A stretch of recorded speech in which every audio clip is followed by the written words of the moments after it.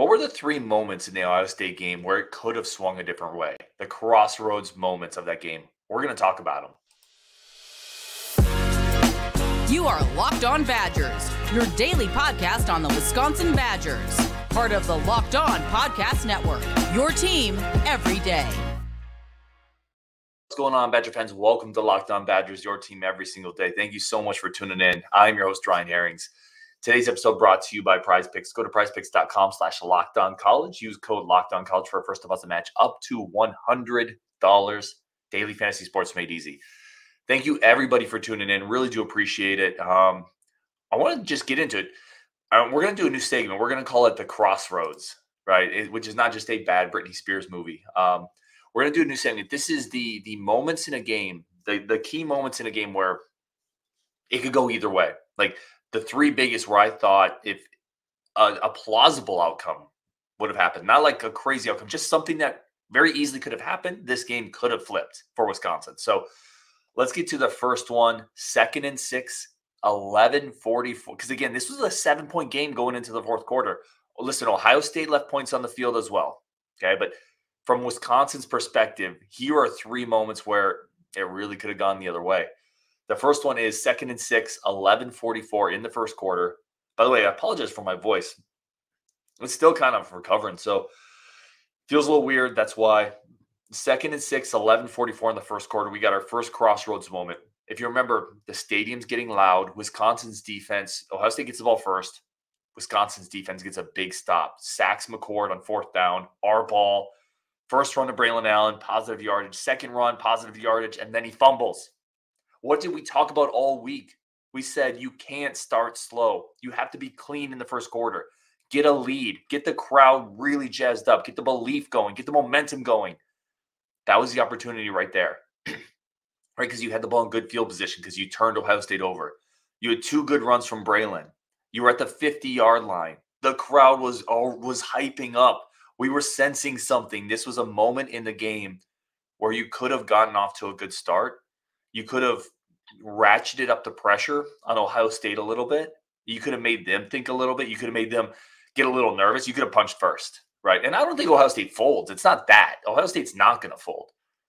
But it's just different when you're on the road and you go down at night, right? It, it, everything is just different. So Braelon, I mean, Braelon just can't fumble it. That that is a part of his game that has cropped up at times, at sometimes in, in big moments. It's cost Wisconsin in big moments. He's a great running back um, but you just, as one of the best players on the team, and he'd tell you this. Every coach would tell you this. I'm not breaking any news. You can't, you just cannot put the ball on the carpet there.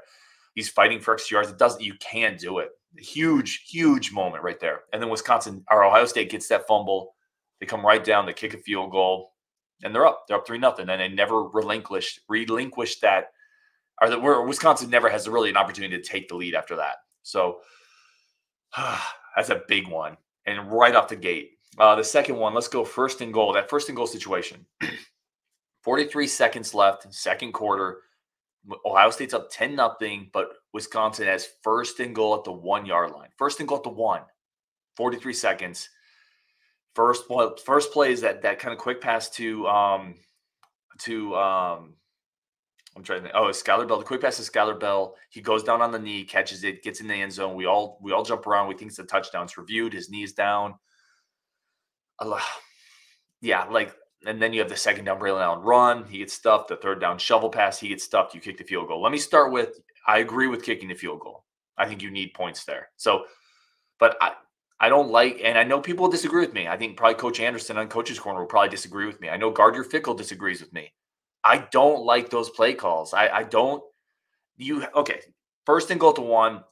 If you just get under center and, and run a quarterback sneak, I'm not that. I'm I'm not trying to second guess Longo on any, but I'm just saying it feels like there's easier paths to success from the one yard line to score than trying to throw a quick pass to anybody um, or trying to run a shovel uh, like a little shovel pass. And by the way, if the offensive line had blocked a little better, that shovel pass scores. Michael Furtney missed a block, missed a key block, right? His guy got off him, and that's the guy that hit Braelon Allen. If he holds that block, pro- the play probably scores.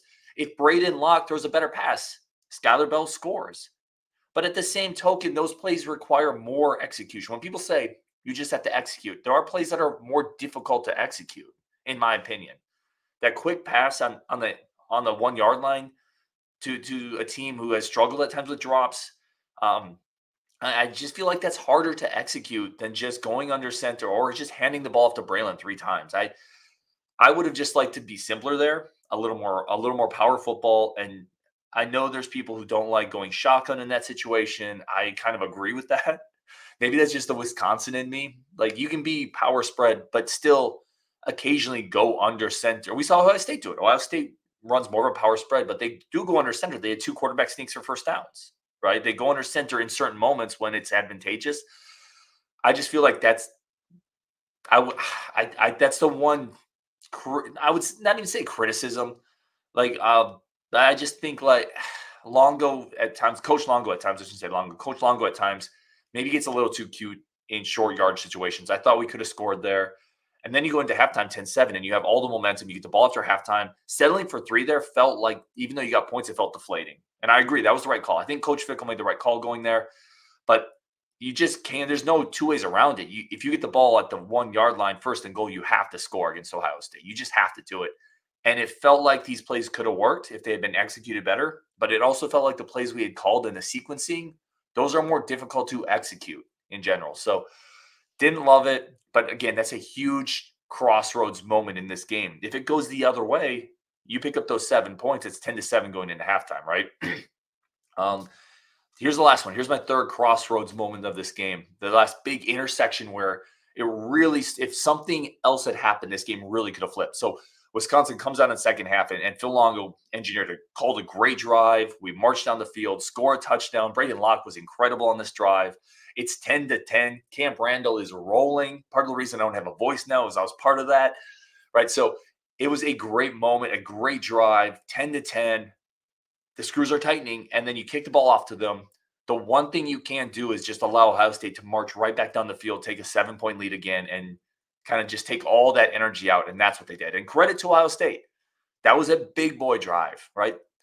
That's a response drive. But this is that crossroads, right? If if you kick it to them and you can get a three and out or just give up a first down, get the ball right back, right back to your offense that just started getting rolling, had just scored 10 straight points, had two pretty good drives against Ohio State.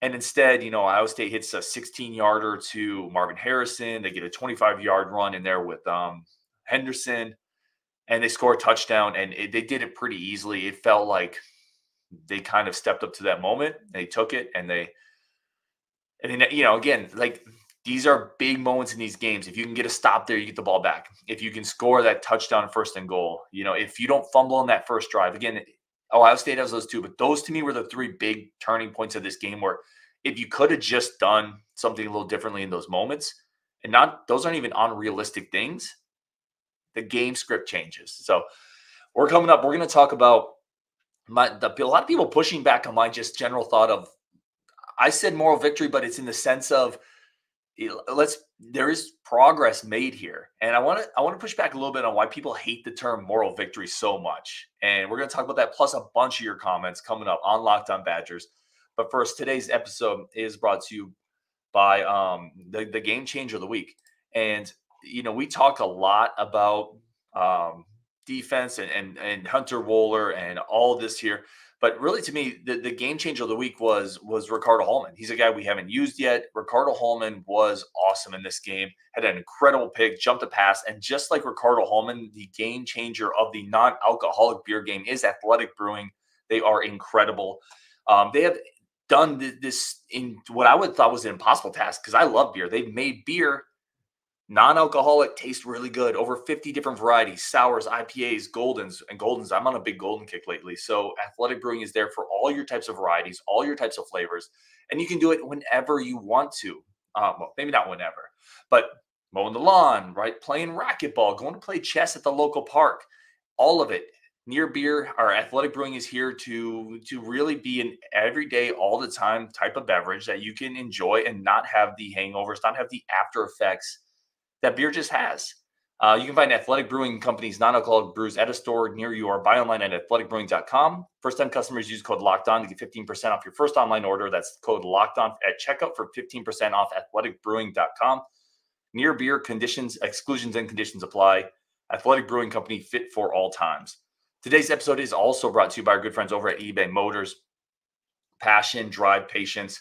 That's what brings home the winning trophy. That's also what keeps your ride or die alive. eBay Motors has everything you need to maintain your vehicle, level it up to peak performance, superchargers, roof racks, exhaust kits, LED headlights, and for me, all the other parts, right? Because my car, I drive, I went home. We went to obviously went to Madison's weekend. I got a car rental, and it was this incredibly nice Jeep Grand Cherokee 2023, like 6,000 miles, fully loaded. It was awesome. And it's such an opposite from my normal cars because you don't need eBay Motors for a 2023 Jeep Grand Cherokee out of, off the lot as much as you do for my 2011 Jeep Compass that has been through the rigors. And that's why I need eBay. I need eBay Motors because they are there with over 122 million parts for all of my cars. You'll always find exactly what you're looking for. eBay guaranteed fit. Your part is guaranteed to fit your ride every time or your money back because with eBay Motors, you're burning rubber, not cash. Keep your ride or die alive at ebaymotors.com. Eligible items only, exclusions apply. eBay guaranteed fit is only available to U.S. customers. All right, let's let's continue on with this conversation about moral victory, not moral victory.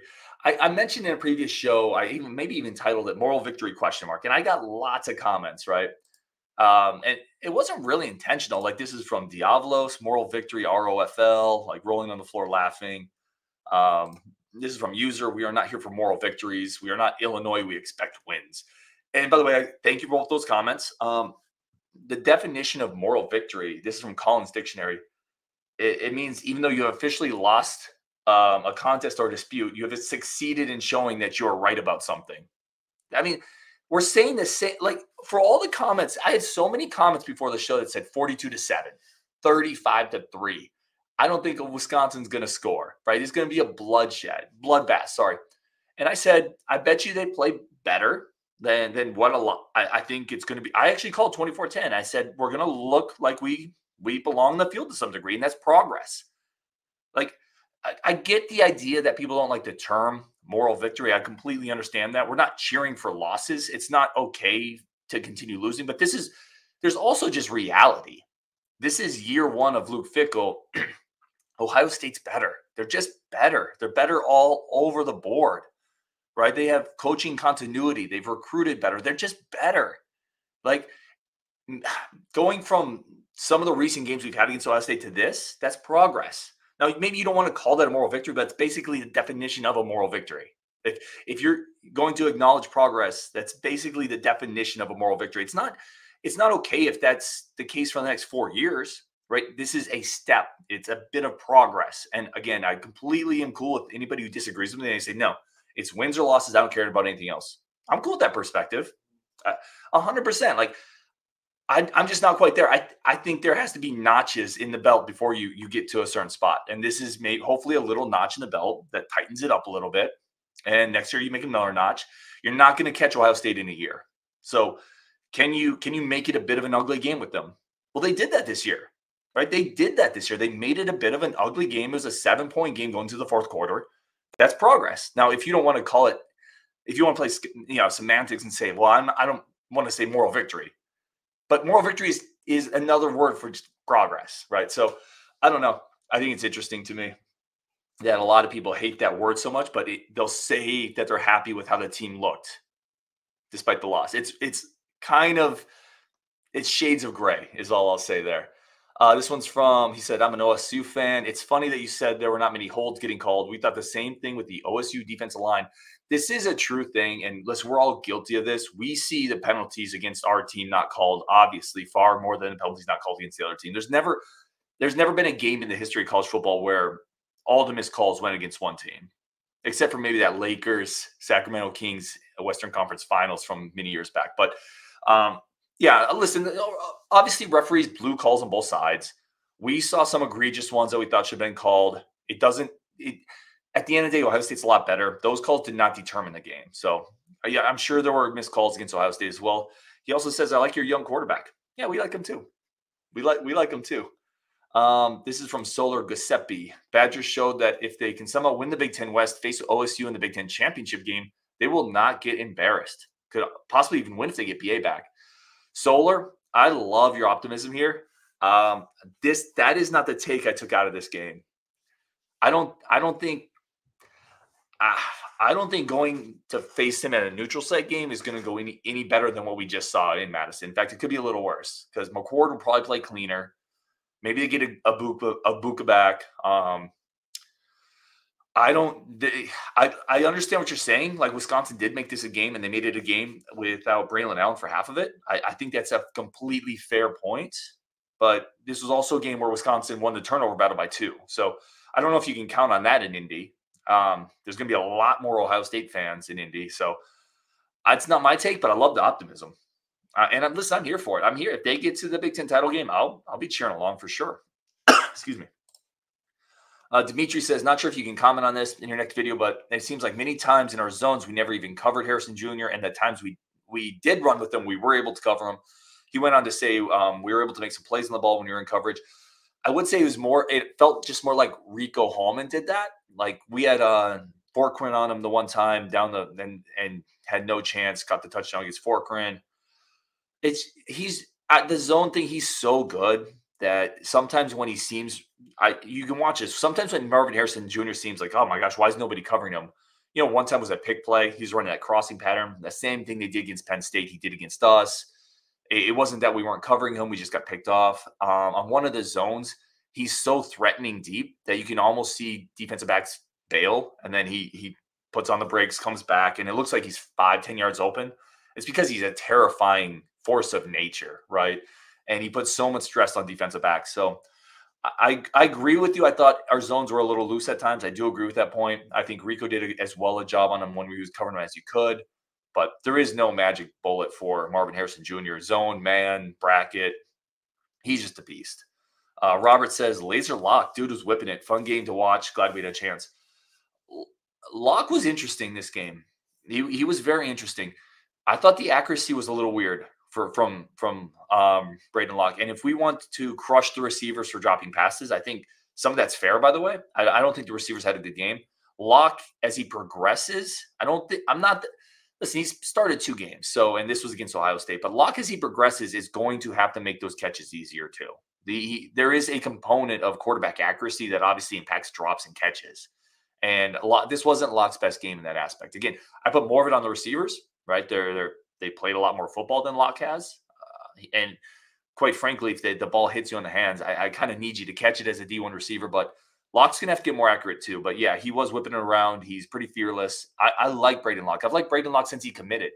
Like I, he was a guy that I I was pretty early on saying like this guy's going to play probably like this guy shouldn't be overlooked. A lot of people were higher on Evers. Locke was always more a little bit more of my guy. So um yeah, I like Locke a lot. I thought he's again fearless. The accuracy is going to have to get a little better. This is from uh, MB Anderson. Locke and the defense played good enough to win. Receivers have to catch the ball. Need a legit center. That's where I'm at. I don't know if the Locke thing's weird. I, I don't know if I'd say he played good enough to win. Again, I don't put that on him. He had a lot of drops and he's a young quarterback playing a really good defense. But he he he didn't turn. He also did not turn the ball over. Um, receivers have to catch the ball. Receivers have to catch the ball. We talked about it all year. They they weren't making plays for Tanner Mordecai consistently. They're not pay, making plays for Tanner Locke. There was drops from Green, Pauling, um, Sky had several. There was there was a Bryce. Yeah, I said Bryson Green. Tucker Ashcraft had one that he could have dropped. Um, or could have caught. That was a drop. It was a tough catch, but yeah, I agree that the playmakers have to make plays, right? They have to make plays, and we haven't seen it consistently. And I said this two or three weeks ago. I said you're not going to see it consistently because this is who we are, right? This is who we are. So you're going to see more. Like you're, it's unfortunate, but you're going to see more drops this year. That that's just kind of who we are offensively. Um, David said it was nice. Oh, I missed David. Sorry, my bad. There it is. Honestly, it was nice to see uh, UW belonged on the field with Iowa State. Thank you, by the way, for all the comments from everybody. You guys are amazing, and I definitely always want to get these comments in. He said, honestly, it was nice to look uh, like UW belonged on the field with Ohio State. While Ohio State's O isn't quite as good as last year, their D is fantastic. That is from David. Yes, that that's really and it's a great point, David. This is really the crux of what I was saying is I you have to walk before you run, right? You have to dig a hole before you plant a tree. You have to there's steps to this stuff, right? Um we there especially last year was 52 to 21 it looked like we didn't belong the game and the game wasn't even that close we looked like a jv team this game we didn't look like we didn't belong on the field we just look like we have work to do that's a step it's not enough in three years, if we're saying the same thing, it's not going to be good enough. But it's a it's a step in year one. All right, a bunch more comments coming up, um, including uh, Braelon Allen. Which offense is worse, Iowa's or Wisconsin's? That's that's I don't get that comment, but we're going to talk about it. That's coming up next on Locked On Badgers. But first, a quick break for friends of the show over at Prize Picks. What is Prize Picks? Prize Picks is the largest independently owned daily fantasy sports platform in North America, and it is the largest for a reason. Simple, easy, in and out in under 60 seconds. And you're not competing with thousands of other dudes out there, you know, with all their data, all their, excuse me, all their time, clickety clackety on their keyboard. No, no, no. All you're going to do is you're going to pick between two and six players. If you think a player is going to have more than 100 rushing yards or whatever the number is for a player, you click more. If you think he's going to have less, you click less. You do that for two to six players and you watch the money roll in if you win. Now we're competing with all these crazy players from all over the world who have way more time and access to data than you have. Just you against the stats. And this Locked On Badgers community is going to win that. This is a sharp community. So that's as simple as it can be. Go to prizepicks.com slash lockedoncollege. Use code lockedoncollege for a first deposit match up to $100. That's prizepicks.com slash lockedoncollege. Use code lockedoncollege for a free deposit match up to $100. Prize picks, daily fantasy sports made easy. All right, let's keep our comments going here. Definitely want to keep, um, really just keep. One of the big things we always do in the show is get your thoughts into it. I think that's why uh, the show has been successful because the community drives it, and um, I'm just humbled to be part of that community along with everybody else. Phil Stamper says, "Stop blaming the refs. They blow bad calls in every game." I'm not. I don't know where. Here's the thing. I don't. I will call out a ref. I have never blamed a ref for a loss ever. I, I, I think basically ever. Like the rest did not co- did not cause this loss for Wisconsin. Okay, like our, our, third down conversions on offense, our inability to score from the one, our inability to stop their outside running game, the the our inability to cover Marvin Harrison Jr., which everyone shares that inability, by the way. But I'm, i can also sit and say they missed a blatant pass interference in a huge situation that would have given Wisconsin a first down in a one possession game in the fourth quarter. Like that matters, right? Like we can be honest here. It's like saying um, if if a receiver drops a pass, it doesn't mean he he blew the game, but we can point out that that might have been a big drop. So Phil Stamper also wonders whose offense is worse, Iowa's or Wisconsin's. Iowa's is way worse. I mean, that's not even a question. Uh, Bo Dragon says Locke is the man, just like I said. Backup running back can all can good could get stuffed and fumbled just as good as Allen. Defense played their asses off, uh, trending up. Yeah, but listen, listen, Bo's been all over Braedyn Locke. Uh, he's been excited to see him, so I know he's excited to see that. Uh, there's no running back depth. So when you start saying First of all, Jackson, let's just say Jackson Acker is not as good as Braelon Allen. He, he isn't going, when you're saying he could get stuffed or fumble just as good as Allen, Jackson is not the running back Braelon Allen is. I mean, we, you see it in this game, the, the difference in some of the runs before and after Braelon. But that being said, Braelon can't fumble the ball. Like, uh, Jackson, that's one thing Jackson's done. He's took, taking care of the ball, and that's a real thing. Michael R says, great fight from the Badgers, was there and had a great time. There we go, Michael. One of you mentioned at the beginning of the year how special teams may cost us in a big game, and I think here's the game. Listen, the punting was killing me. How many how many times this year, guys, have guys and gals have we had started at the five yard line um, uh, in the Iowa game? In this game, it just felt like we were constantly, and that that was their punter was pinning us, and we had opportunities to pin them. We had opportunities to pin Ohio State in big moments, and instead of being able to pin them at the five like teams do to us, we pin them at the 13 or at the 14, right? Those punts have to be better. Those punts have to be better. Um, I don't know where else special teams really killed us. Uh, you you would like Vakos to hit that first field goal, but 54. I'm never going to kill a, a, college kicker from from missing for 54. He had enough leg, but that's a tough one. Um, he hit the chip shot later in the game. Obviously, you kicked it out of bounds again. That's like a Wisconsin tradition at this point. It's cheese curds, uh, Leinies, and kicking the ball out of bounds.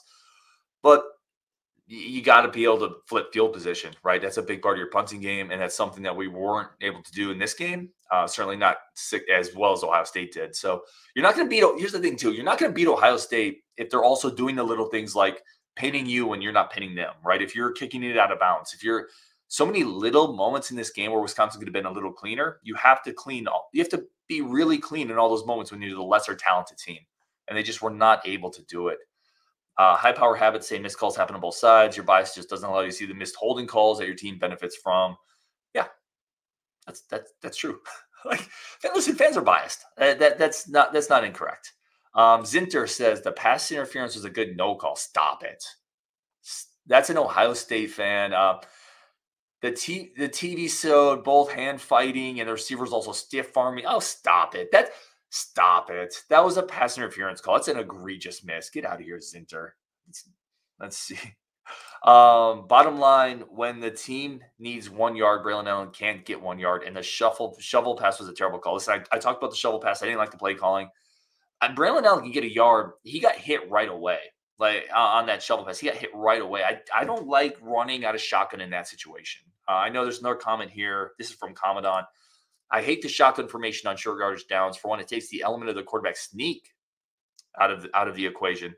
Uh, but number two, I like for the running back who has the ball to be able to get some momentum going forward on first down, not waiting for a snap to come back to the quarterback, and then the quarterback has to give it to him. I, I agree with this. I think Commandant has a point here. I like I like my ideal Longo offense is everything Longo does, and then on third and one, fourth and one, you go under center and you you're able to play a little more power football. Ohio State does this now. To Longo's credit, Longo has done this at times this year. He has gone under center, and we've had a, a plethora of weird false starts in those situations, and so it's not like Longo won't do that. I, I would like us to be more consistent in it, and maybe it's it is an execution thing where next year they'll do it more. I hope so because I think you're better especially in like on the one yard line. I, I'm here's the thing. Nobody's stopping four straight quarterback sneaks from the one yard line. I, I just don't believe that happens almost ever at, at the college level. And that's kind of where I'm at. A lad, a lad, a dad, a, a lad, sorry, says, sorry guys, there are no moral victories in FBS football. You have wins and losses, period. As a fan, I am encouraged by the fact it was a good effort and not an embarrassing blowout. Isn't that a moral victory? like, um, Aled, I mean, maybe I'm misinterpreting what you're saying. And again, I appreciate the comment. You're saying all you care about is wins and losses, period. No moral victories. But then you went on to say you're encouraged by the fact that it was a good effort and not an embarrassing blowout. See, to me, that feels like the same thing as a moral victory. That feels like uh, what I was saying at the beginning, right? Like, I, am not. I, I think that the, just the word moral victory people hate. They hate that term, but underneath it, like when you pop the hood of moral victory, what it is is you're encouraged by what you saw. Even though you lost, you're encouraged. That that is a moral victory. I feel like we're saying the same thing. You just don't like the word moral victory, which I get. It has a bad connotation. Um, this is from 49 Braun. OSU probably recruited 25 stars in the same time we didn't even have a recruiting office. We played very good. Um, we aren't in their class yet. That's 100% correct. 49 Braun. 100% correct. Downstream V said, I think we lose to Nebraska and we win the rest. Nebraska goes to the title game. That would be wild. Matt Rhule in his first year to get them to the title game. Do you know how well they would travel? First of all, Nebraska would travel so well to that game only to lose 49 to like seven. It would be brutal for them. But given the dearth of success they've had, they they would pack that stadium. It'd be hilarious, low key to see them then lose 56 to excuse me, three. Um, Scotty T says, by the way, I don't I could see, sorry, to go back to the point downstream, thank you for your comment. I could see us losing to Nebraska too. I could see us losing to Nebraska or Indiana. I, I can see both those happening. Um, Scotty T says it's hard when you're missing quarterback one, running back one, running back 1A, receiver one. Yeah. Now, here's why I want to put this comment up. So, yes, all these injuries are true, but this is the difference between recruiting entire teams full of really good players and not being able to recruit at that level. Ohio State could miss all that and they'd have the depth to still win, right? They beat Penn State last week without running back one, receiver two. Uh, at the end of the day, you need more depth. You need to recruit better because you're going to have injuries throughout the year. Hopefully, it's not to quarterback one, running back one, running back one A, et cetera, et cetera. But let's be honest, it's not like Chimere Dike wins this game. It's not like we win this game if, if Tanner Mordecai's playing.